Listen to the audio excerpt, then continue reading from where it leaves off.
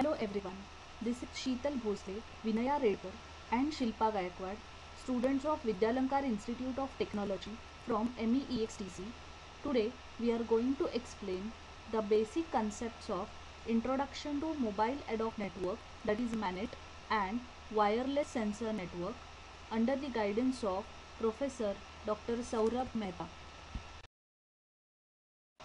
The contents to be covered are concept of MANET, challenges of MANET, applications of MANET, and concept of wireless sensor network, challenges of wireless sensor network, and applications of the wireless sensor network. In wireless network, there are two types of network. One is infrastructure based wireless network and other is infrastructure free wireless network. In infrastructure based wireless network, which requires access point and service set identifier. Example of this wireless network is the network used at home, business and school.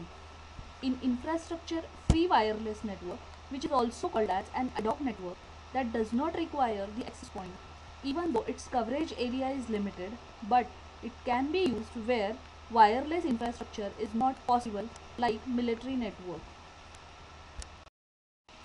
Mobile ad hoc network that is MANET. It can be defined as infrastructure-less IP-based network of mobile and wireless machine nodes connected with radio. In operation, the nodes of the MANET do not have centralized administration mechanism. It is known for its routable network properties where each node acts as a router to forward the traffic to the other specified node in the network. As we can see in the given diagram, this is the source and wants to communicate with the destination. These are the intermediate nodes that transmit the data from the source to the destination. This system does not have any centralized mechanism. In MANET, we get peer-to-peer -peer connectivity, but there are many challenges or issues which remains to be addressed are routing. Since the topology of the network is constantly changing, the issue of the routing packets between any pair of nodes becomes a challenging task because routes between nodes may potentially contain multiple hops which is more complex than single hop communication. Power consumption. For most of the mobile terminals, the communication related functions should be optimized for power consumption. Conservation of the power and power aware routing must be taken into consideration. Autonomous. No centralized administration entity is available to manage the operation of different mobile nodes. Dynamic topology. Nodes are mobile and can be connected dynamically in an arbitrary manner. Link of the network may vary timely and are based on proximity of one node to other node. Limited resources. Mobile nodes rely on battery power which is a scarce source. Also, its storage capacity and power are severely limited. Applications of MANET All the technologies initially developed keeping in mind military application such as battlefield in an unknown territory where the infrastructure is impossible to establish. In this case, ad hoc network having self-organizing capacity can be effectively used where other technologies failed. Crisis management application.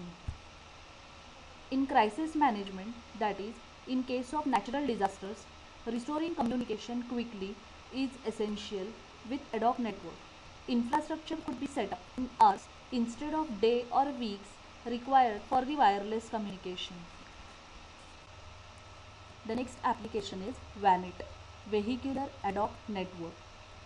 VANET is a network which is formed among different vehicles on road and can propagate information like accidents and congestion.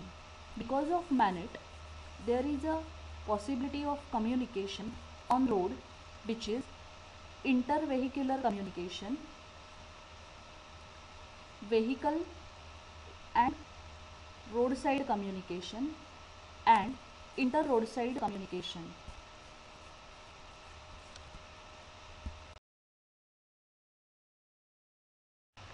The next concept is wireless sensor network.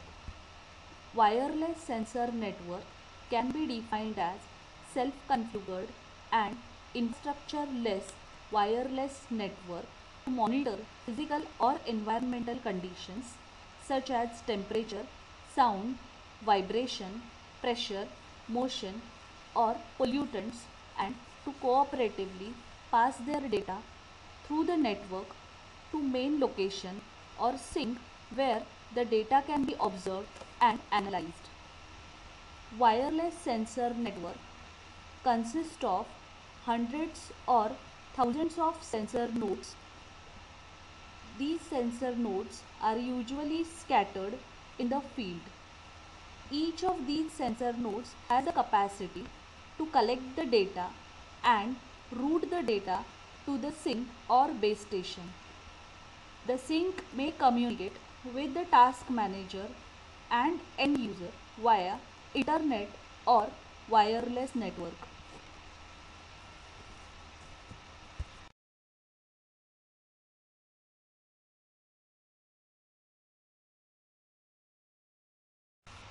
Routing protocol design is heavily influenced by many challenging factors in WSN. The first one is scalable and flexible architecture. In the sensor network, the number of sensor nodes deployed may be order of hundred, thousands or millions so that we can easily extend the network size. The communication protocol must be designed in such a manner that deploying many nodes in the network does not affect clustering and routing. In other words, the network must preserve its stability. Fault tolerance. Possibility of node failure and change of topology of the network is quite high in case of wireless sensor network. The network should be function smoothly and normally irrespective of node failure and topology change. Computational capabilities. Sensor node have limited computational power and therefore may not be able to run sophisticated network protocols leading to the light-weighted and simple version of routing protocol. Quality of service. In some applications like military application, data should be delivered within certain period of time it sensed. Otherwise, the data will be useless. Bounded latency for data delivery is the condition for time constraint application. Security. Security is an important issue which does not physical security but it implies that both authentication and encryption should be feasible.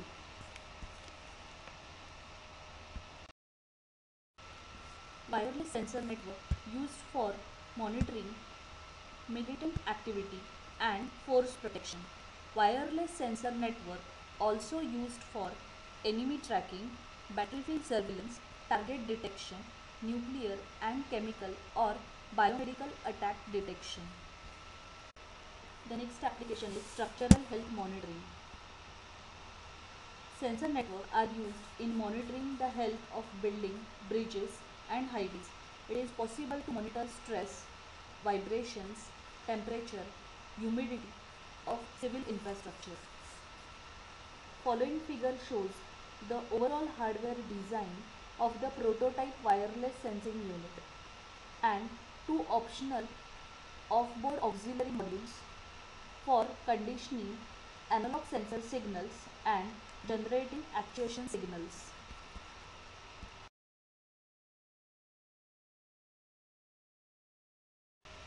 The next application of wireless sensor network is home automation. It involves control and automation of home appliances such as light, air condition, home security.